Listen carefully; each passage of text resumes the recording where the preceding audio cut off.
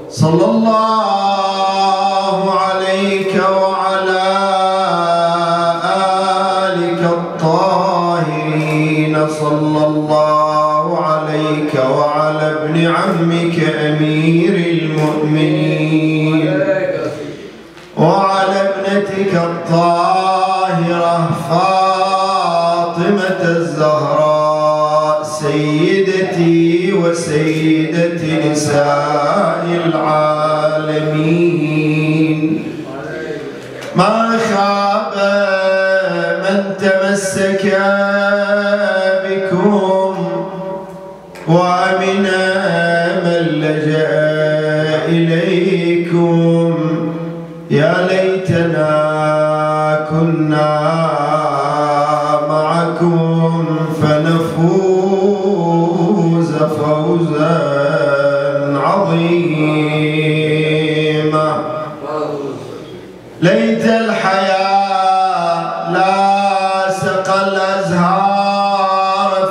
العالمين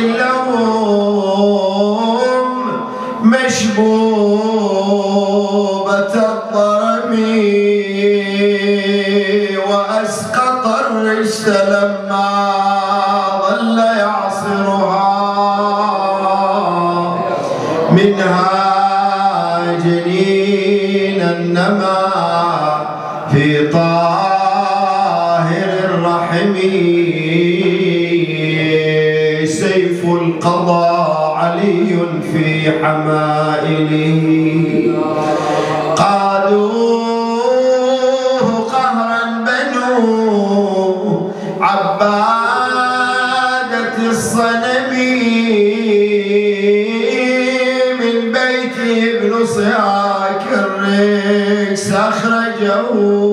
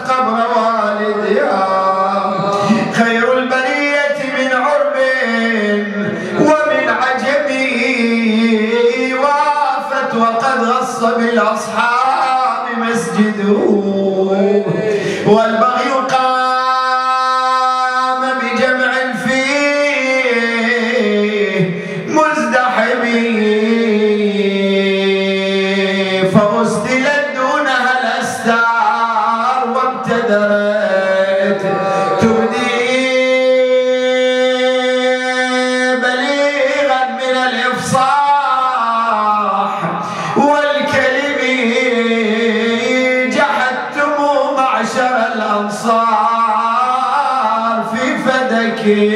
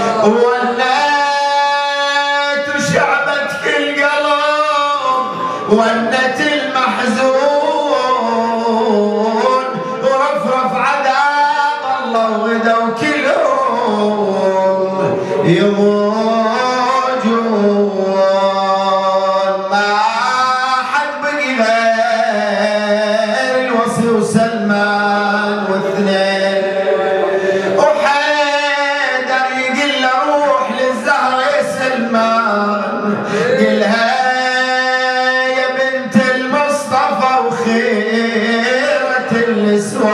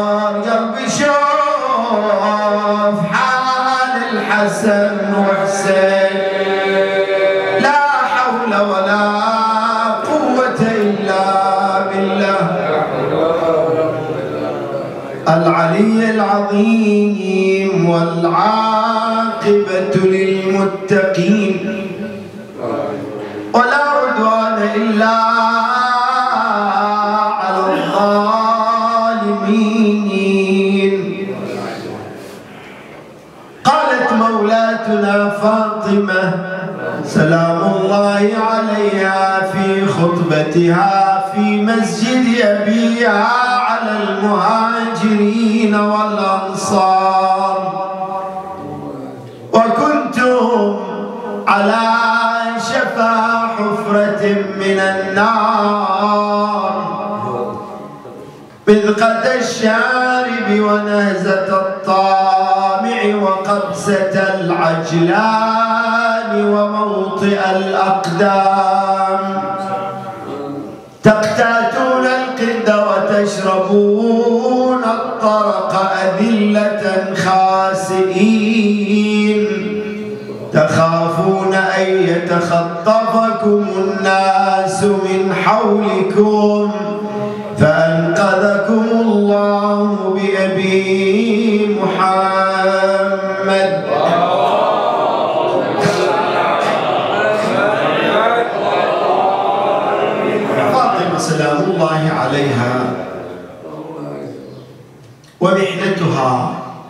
ومصيبتها التي لا زالت تقرح القلوب. وقضية لا زالت قيد النقاش والتحليل والمساءلة. لأنها قضية من أهم القضايا الإسلامية. كثير من القضايا والحوادث الإسلام. لكن هناك قضايا ربما لم تحل ولم يسكت عنها. وعلى جميع المجتمع الإسلامي أن يبحث قضية الزهراء. ولا يخاف ولا يحزن. لأن الأمر إذا سكت عنه ولما لك هذا الزخم في اللعن والسب وفي التشهير وفي التهمة بأننا نسب صحابة رسول الله أو كذا أو كذا يريدون أن نسكت على قضايا وجرائم فعلها من المسلمين من حاب النبي. النبي صلى الله عليه وآله. إذا قال أنتم تسبون تلعنون وكذا وكذا أسكتكم عن قضية هي من أهم القضايا العقدية. نقول إحنا مثلا إذا سكتنا ترى فيها أمور تؤثر على عقيدتنا.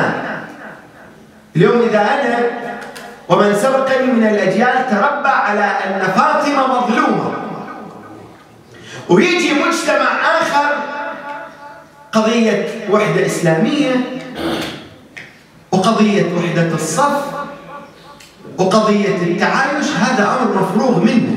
لكن أن أسكت على ما جرى على أئمتي وأرضى بما قالوا هؤلاء يعني أتفسخ من عقيدتي. خلاص فاطمة مظلومة. وذولاك ما قتلوها وما ضربوها وكما قالوا ماتت مريضة بالحمى وخلاص. واحد مصري يجي لكم الله ساتر على منصة. يقول تلك أمة قد خلت. لها ما كسبت. أنتم ما يخصكم. لا تسأل. شلون ماتت الزهراء ولا تسأل شلون قتل الحسين ولا تؤثر في اللعن على سيده هو طبعا يزيد بن معاوية ولا تدخل نفسك النار بلعنك فلان وكذا. هذا طبعا أمر لا يسكت عنه. الأجيال الجاية إذا تربوا قال لا فاطمة مقتولة؟ وإذا تربى على لا تلعن يزيد بن معاوية. وإذا تربى على أن كل الصحابة عدول. وخلاص. جيل بعد جيل تنتهي. وهذه طبعا ما تنتهي. وإحنا مو خايفين. لأن زينب سلام الله عليها قالت ليزيد كلمة فوالله لا تمحو ذكرنا ولا تميت وحينا وهل رأيك إلا فندا؟ وأيامك إلا عمدا هذه مقدمة. نأتي إلى كلمة الزهراء سلام الله عليها. إلى مجتمع ادعى الحب وادعى الولاء وادعى الصحبة. وإذا هذا الادعاء يستدعي إلى أن يجملون في من حذر الله سبحانه وتعالى منهم نبيا. يجون يصلون وياك يا رسول الله. يروحون وياك الحروب. يلعنون عبدة الأصنام. يتظاهرون بالعداء. لمن أعلن الحرب عليك وحاربك. لكن التفت منهم. إذا جاءك المنافقون قالوا نشهد إنك لرسول الله. والله يشهد إنك لرسوله والله يعلم إن المنافقين لكاذبون. والله يعلم إنك لرسوله والله يشهد إن المنافقين لكاذبون. ما هي صفاتهم؟ يلا شوف. اتخذوا أيمانهم جنة فصد جنة فصدوا عن سبيل الله إنهم ساء ما كانوا يعملون. هذه وحدة. وإذا رأيتهم تعجبك أجسامهم وإن يقولوا تسمع لقولهم كأنهم خشب مسندة يحسبون كل صيحة عليهم هم العدو. قاتلهم الله أنى يؤفكون. لا يقول على أن اللي يصلي واللي يحارب واللي كذا. لا لا لا. هؤلاء هم. ولهذا بانت حقائقهم.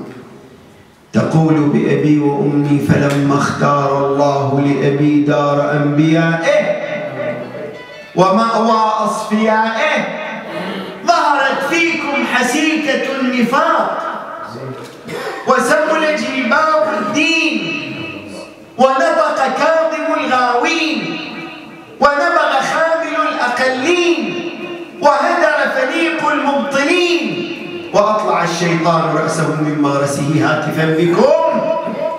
فألفاكم لدعوته مستجيبين وللغرة فيه ملاحظين ثم استنهضكم فوجدكم خفافا وأحمشكم فوجدكم غضابا. فوسمتم غير إبلكم وأوردتموها غير شربكم.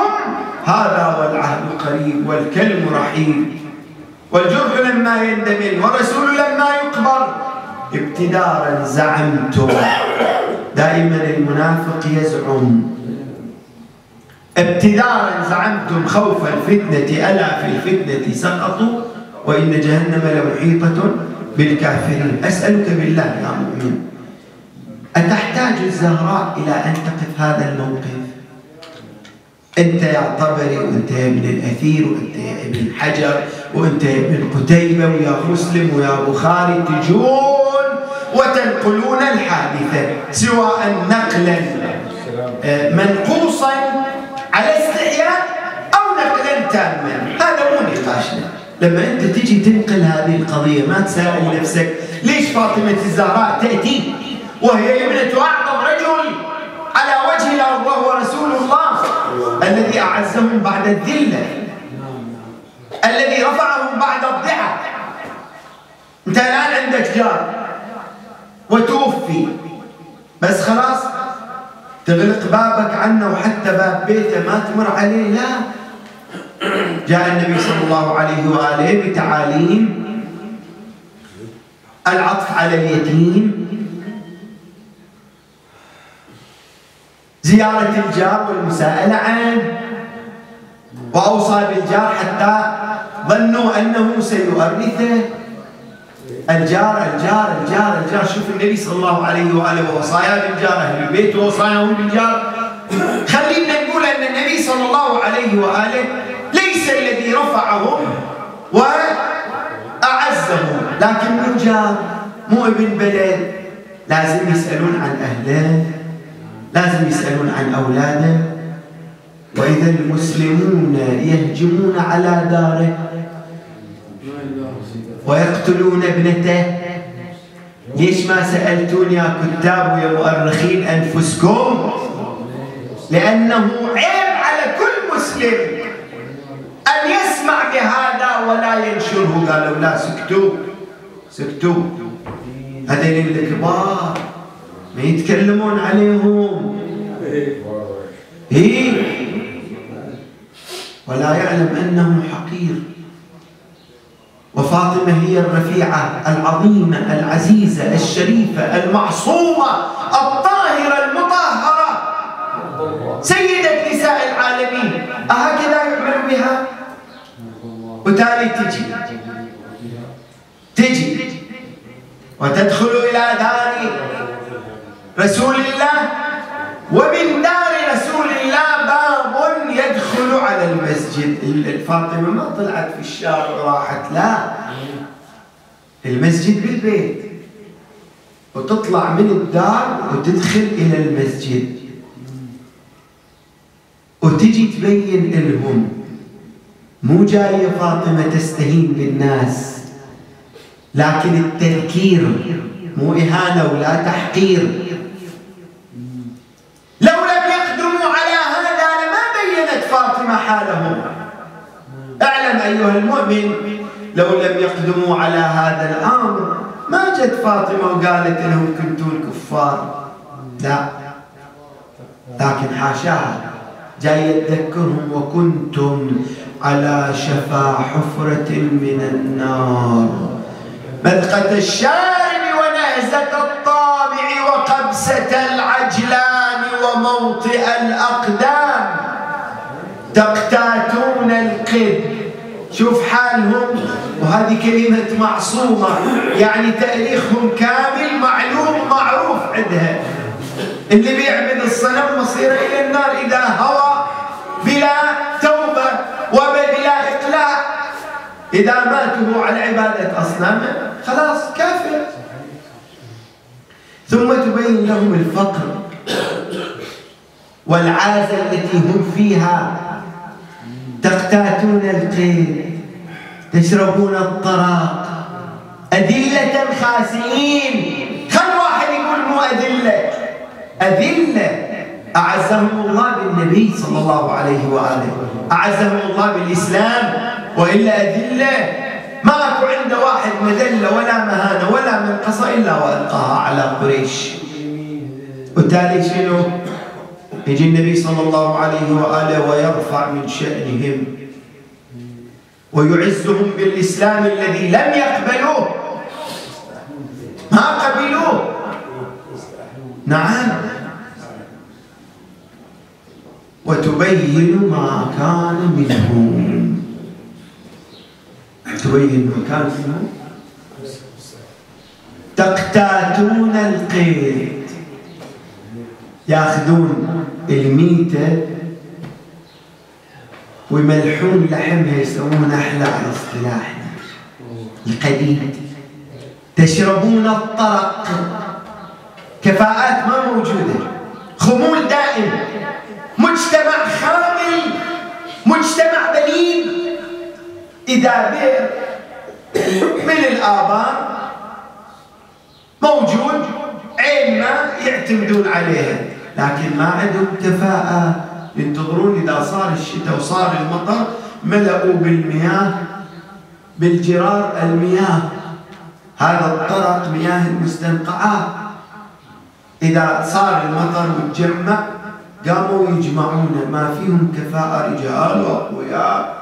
واللي يعد بألف واللي يحمل الصمصامة والبطل ما يقدرون أربعة خمسة عشرة يحفرون بئر ويشربون ماء نظيف يشربون الماء الآسن وتشربون الطرق. أذلة خاسئين. تخافون أن يتخطفكم الناس من حولكم. هنا مقاطع لفاطمة الزهراء سلام الله عليها. فيها بيان فيها مطالبات فيها توجيهات. ومن المطالبات أنها قالت له يا فلان أفي كتاب الله أن ترث أباك ولا أرث أبي؟ لقد جئت شيئا فريا. أما قرأت كتاب الله تعالى؟ إذ يقول وورث سليمان داود وقال رب هب لي من لدنك وليا يرثني ويرث من آل يعقوب واجعله ربي رضيا. وقال إن ترك خيرا للوصية. وقال يوصيكم الله في أولادكم للذكر مثل حظ الأنثيين. هذا ما سمعت كله قال قال النبي نحن معاشر الأنبياء لا نورث ذهبا ولا فضة ولا دارا ولا مالا ولا عقارا إنما نورث العلم والنبوة. يدري هو زكريا سلام الله عليه. قال وإني خفت الموالي من ورائي ليش هذا الخوف؟ خوف على المال وعلى النبوة لأن هؤلاء فسقة ليسوا أهلا لهذين الأمرين. وبهذا لم يقنع ولم يرجع ولم يتراجع. ورواية الكتاب كلش ضعيفة إذا يبحث الباحث أنه كتب كتاب وخرجت بالكتاب. مستحيل يكتب كتاب. بعض الباحثين يقول مستحيل يكتب كتاب لأنه هو لا يستبد برأيه وإنما أمره في يد الثاني والمجموعة الموجودة. وهذا عهد في السقيفة. تعاهدوه على أنفسهم. اليوم يعطيها كتاب لا. رواية ضعيفة أنه كتب لها كتاب وخرجت بالكتاب وإذا بالرجل أمامها ما هذا؟ قالت كتاب من الأول. قال ناوليني إياه. وإذا به ارجع فدك فتفل فيه وبقره ورمى به ووطأه برجله. ما يكتب كتاب لا. ولا يتراجع أبدا. الأمر الآخر أن فاطمة تعتبر هذا الأمر تراث إحنا نتساءل فدك وتراث على مستوى عالمي ليش؟ اعلم أن النبي صلى الله عليه وآله الوصية على بيت المال هي فاطمة والوصي على الخلافة هو علي بن أبي طالب ما ممكن يعني يتوقع أن يهجم على فاطمة وتغصب وما ذلك إلا لعظم خطرها ولقوة شخصها. فاطمة وما أدراك ما فاطمة. أهلها النبي صلى الله عليه وآله إلى مسك بيت مال المسلمين. تدري شنو؟ لما يلحي الهافدك والعواني. وبأمر من الله سبحانه وتعالى ما هذا إلا لحكمة. مو هذا أب عند ولد يحب حب عظيم ويقول لك لا يضيع ولا يفتقر وأنا أخلي إلى هذا الإرث لا النبي مو هذا شأنه. لا لا لحكمة ولأمر أراده الله سبحانه وتعالى. ولأن فاطمة بأبي وأمي أمينة على مال الله. ولها تصرفها فيه تملكه فتأتي إلى والأنصار يا أعضاد الملة وحملة القرآن. ما هذه الغميزة في حقي؟ أعظم أعظم تراث أبي. وأنتم مني بمس بمرأى ومسمع ومنتدى ومجمع. تدرون؟ فلك يمكن أحنا نقول النخيلات اللي إذا طلعت من المدينة قالوا هذه فدك. وبعضهم راحوها بعض الجماعة. لا هذه فدك. لكن ما حولها الإمام الكاظم سلام الله عليه. يخبرنا بحدودها يقولون هارون الرشيد عليه ما عليه من اللعنة.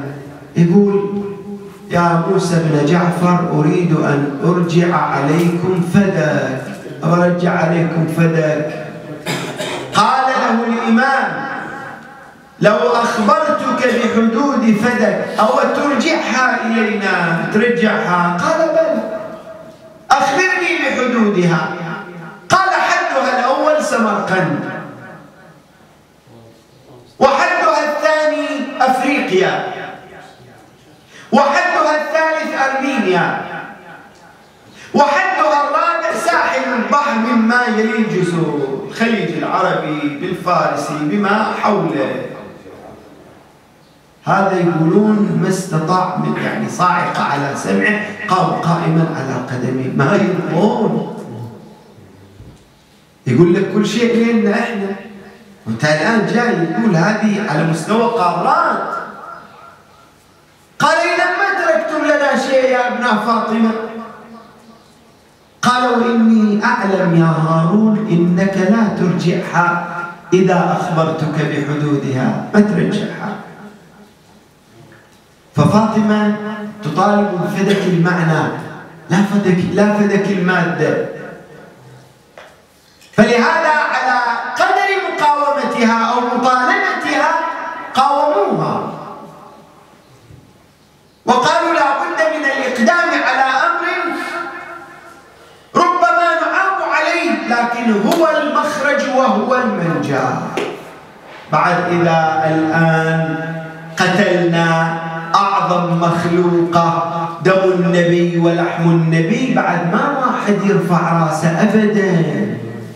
هذه عمي سياسة الإقصاء وسياسة التصفية وسياسة التجويع وسياسة التكفير والتشهير. هذه من السقيفة طالعة.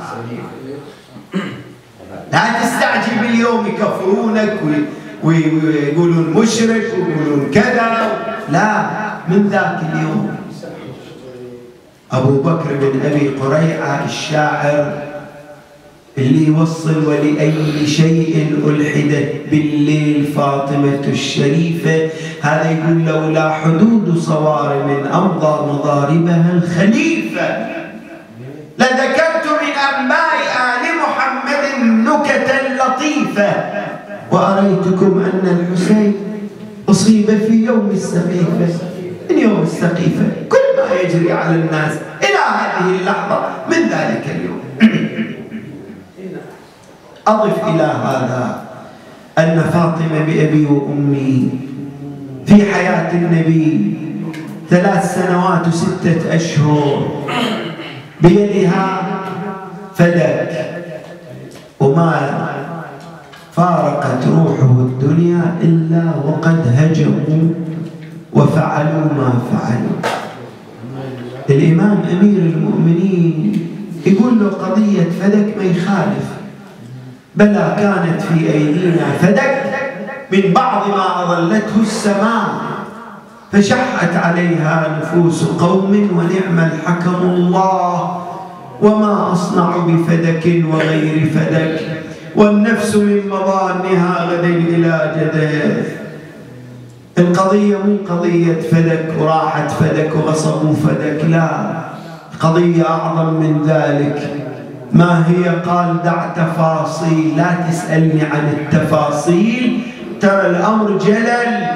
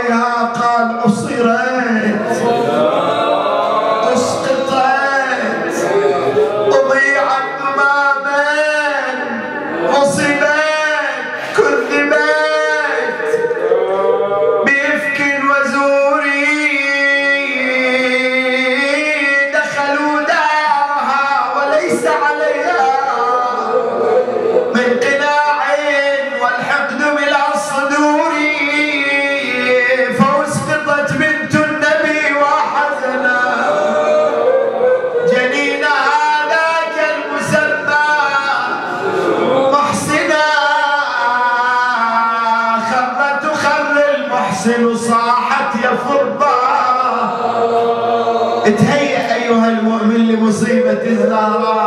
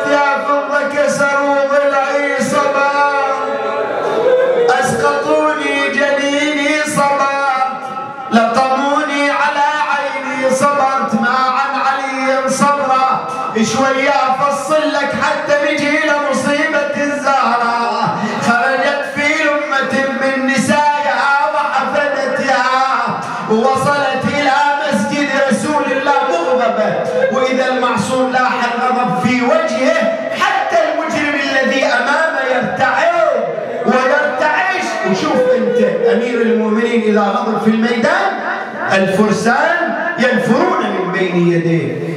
أبي الضيم الحسين عليه السلام جاء مغضبا وكان قلبه كصالية الغضا من العطش فإذا رمق الفارس ولى وهرب. وما برز إليه أحد يجول في الميدان. فاطمة بأبي وأمي غاضبة وهي تنادي أين أنت يا علي؟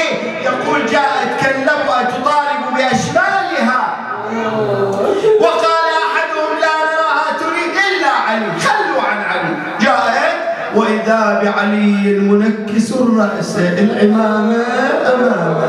انحنت عليه. أول نظرت إلى الرجل قالت فلان مالي ومالك أتريد أن ترمل ترملني من زوجي وتيتم أولادي والله لولا أنها سوى علي لنشرت شعري. ثم انحنت على علي يا علي إن كنت في خير كنت معك. وإن كنت في شر كنت معك. كلهم يسمعون.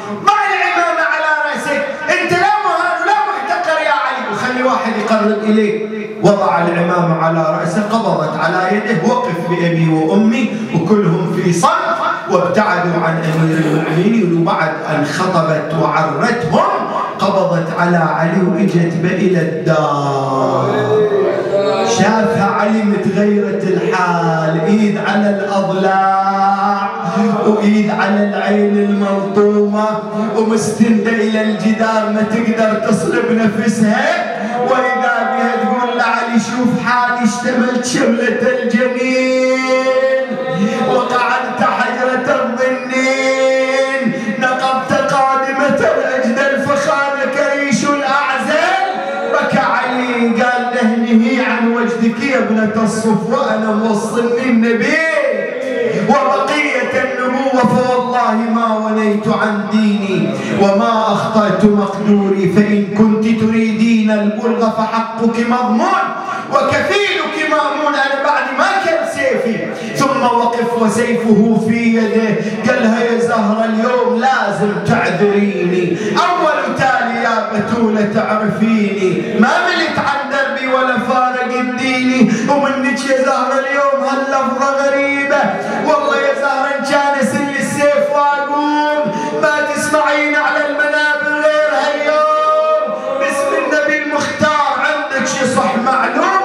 وظل يرتعد والغيظ يتوقد لهيبة.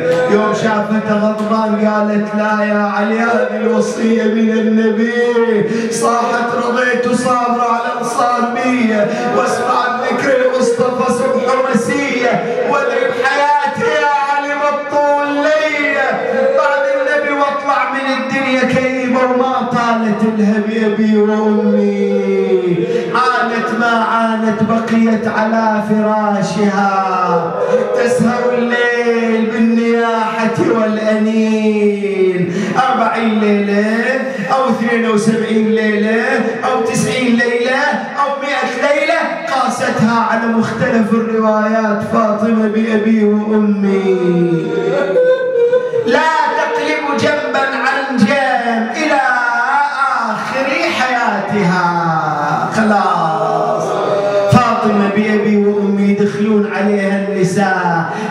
حالك يا بنت رسول الله قالت أصبحت قالية لرجالكم. اللي سووه مو قليل ترى عائفة لدنياكم. وما دخل أمير المؤمنين يوم من الأيام. إلا فاطمة تؤول والأن من الباب. فأن لأنتها وبكى لبكائها. وقام يمسح على رأس الزهراء ويبكي وينادي وفاطمة.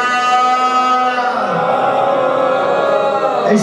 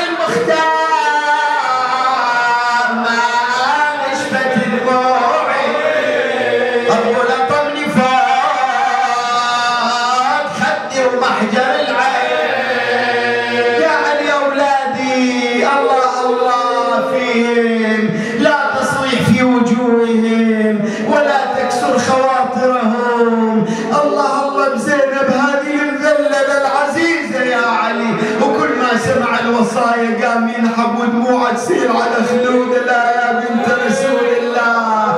إن شاء الله بتقومين وبتربين اولادك قالت لا يا علي إني مفارقة. وقد رأيت أبي وهو يقول العجل العجل يا فاطمة اما تشتاقين إلينا. يا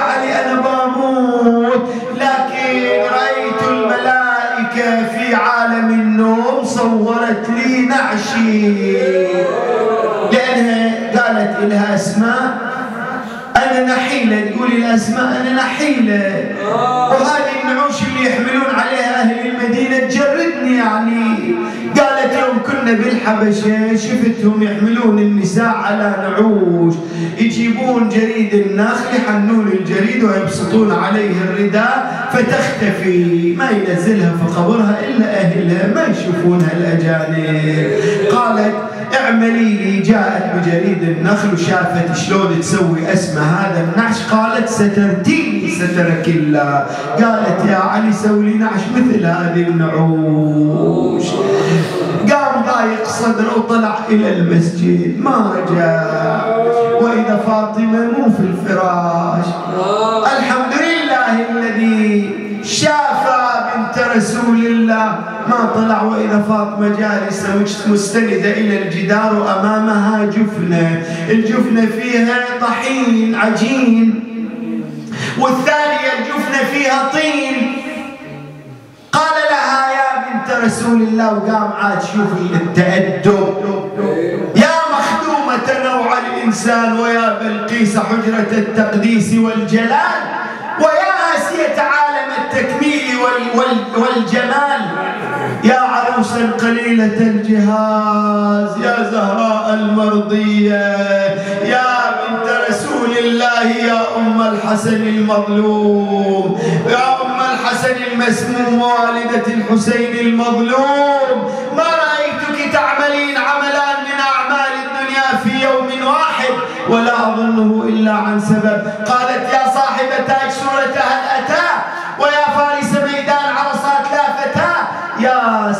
الله المسلول على أعداء يا أبا الحسن. هذه آخر أيامي من الدنيا. من أين لك هذا وقد انقطع عنا؟ الوحي قالت رقدت هنيا فرأيت أبي وهو يقول أما تشتاقين إلينا يا فاطمة؟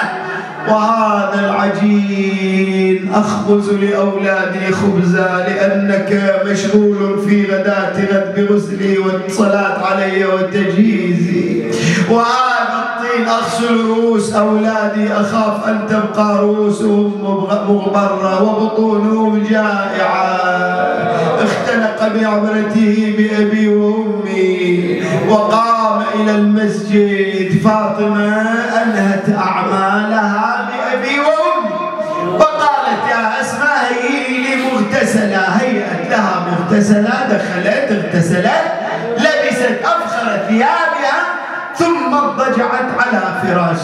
ما جت أسماء وإذا الكفن عند راس فاطمة والحنوط عند راس فاطمة وكل شيء مجهز قالت يا أسماء أدخل وأخلد إلى فراشي بعد ساعة ناديني فإن أجبتك وإلا تدخلين علي تجديني ميتة كلهم مستانسين قامت من فراشها توصي علي وتخبر أسماء بموتها.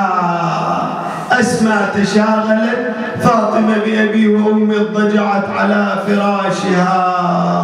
وهي تنادي إلهي بحق رسول الله صلى الله عليه وآله وحبه إليه. وبحق أمير المؤمنين علي واشتياقه إليه. الحسن وحزنه عليه وبحق الحسين وبكائه عليه. إلا ما غفرت للعصاة من من شيعتي ومن أمتي أبي وقامت تدعو بأبي وأمي وبعد